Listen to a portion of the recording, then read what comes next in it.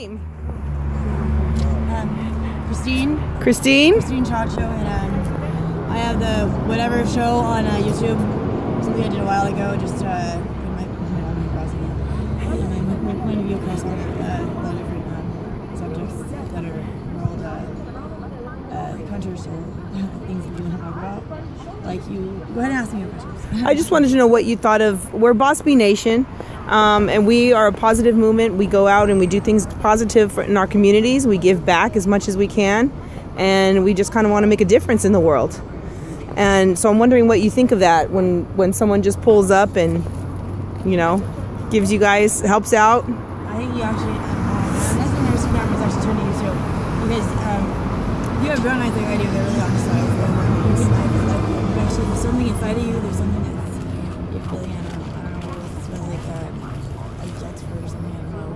You're supposed to get a tax write-off. you should. Shit, they're reading all this off. You better get a tax write-off. if you're Giving, giving, here. I mean, like I'm totally like, yeah, you better. But um, uh, what do you, no, no, no, Does it help? Does it? I mean, does it help out? How does it make you feel when when we pull up and we you know we You give something? today? That's crazy. They ever heard me. And listen, you were the one on that little.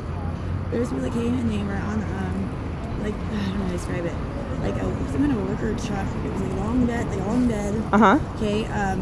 Yeah, and then like they were fenced in. Okay, and they're all under on the fence and above us.